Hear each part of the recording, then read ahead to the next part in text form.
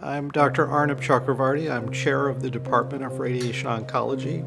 The opportunity to bring a technology that can help literally millions of people in Ohio and the upper Midwest in a very transformational manner was very attractive to me.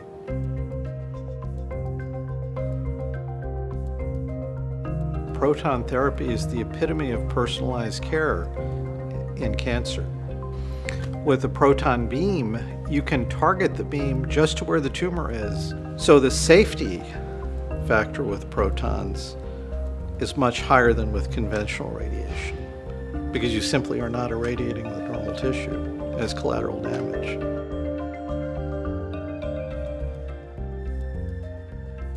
With flash therapy, since you're delivering at a, such a high dose rate, you can complete the entire treatment course in less than a tenth of a second. And that's one of the reasons why the research is so important with flash protons.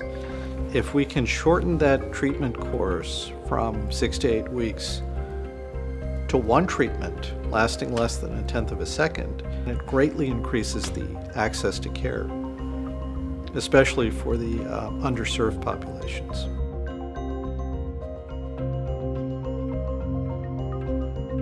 Everything is before us now because we have this exciting new technology that we're going to be launching in 2023 and the impact on the health and well-being of the people of central Ohio and beyond is going to be astronomical.